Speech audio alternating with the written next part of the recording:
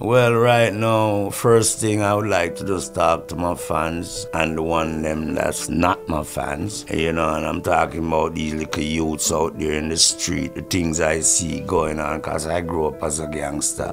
I'm from Rockfort, cold gangster city. You know, Jamaica, Kingston, we rough. We know where consequences can get. And I see these little young youths, a lot of them picked up something.